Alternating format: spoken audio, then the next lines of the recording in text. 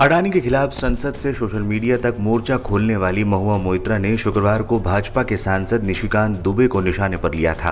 TMC सांसद महुआ मोइत्रा ने सत्ताधारी बीजेपी सांसद निशिकांत दुबे पर नकली एमबीए डिग्री और फर्जी पीएचडी हासिल करने का आरोप लगाया था। टीएमसी सांसद ने शुक्रवार सुबह अडानी की जगह निशिकांत दुबे की फर्जी डिग्री को लेकर एक के बाद एक कई ट्वीट किए थे।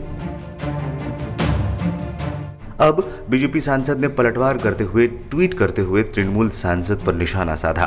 बीजेपी सांसद निशिकांत दुबे ने दो तस्वीरें शेयर करते हुए लिखा, विकृत मानसिकता के बंगाल से आई महिला सांसद व उनके चंडाल चौकड़ी के लिए दिल दहलाने वाली और बौखलाहट के लिए माननीय सर्वोच्च न्यायालय का यह आदेश चुनाव आयोग के साथ जिन्होंने ये माना कि मेरे पास डिग्री है और आप लोगों को आगरा भेजने का सर्टिफिकेट भी है। आप सभी घटिया मानसिकता के साथ जीते रहिए।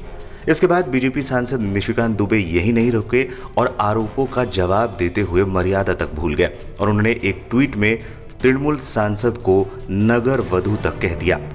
निशिकांत दुबे ने ट्वीट करते हुए लिखा, जिस महिला को बड़े छोटे का लिहाज नहीं, खासकर विकृत मानसिकता की शिकार बंगाल से आई एक महिला सांसद व मेरे झारखंड के विकृत विधायिका के लिए, उनके लिए सभी कार्यकर्ताओं से आग्रह है कि हल्का कमेंट्स नहीं करें। अपने धर्म में वैशाली की नगर वधु तक को सम्मान समाज ने दिया है। बता दें, इससे पहले बीजेपी सांसद के पास फर्जी डिग्री होने का आरोप लगाते हुए महुआ मोइत्रा ने कई दस्तावेज़ भी सोशल मीडिया पर शेयर किए थे। महुआ मोइत्रा ने इस दौरान लोकसभा स्पीकर ओम बिरला से सवाल पूछा था, क्या ये झारखंड से आने वाले बीजेपी सांसद निशिकांत दुबे की लोकसभा सदस्यता से बर्खास्तगी का कारण बन सकता है? ये पहला मौका नहीं है जब निशिकांत दुबे को महुआ मोइत्रा ने निशाने पर लिया हो। इससे पहले भी वो बजट सत्र में निशिकांत दुबे पर जुबानी तीर चला चुकी हैं। अब निशिकांत दुबे के जवाब के बाद बवाल मचना तो तय माना जा रहा है।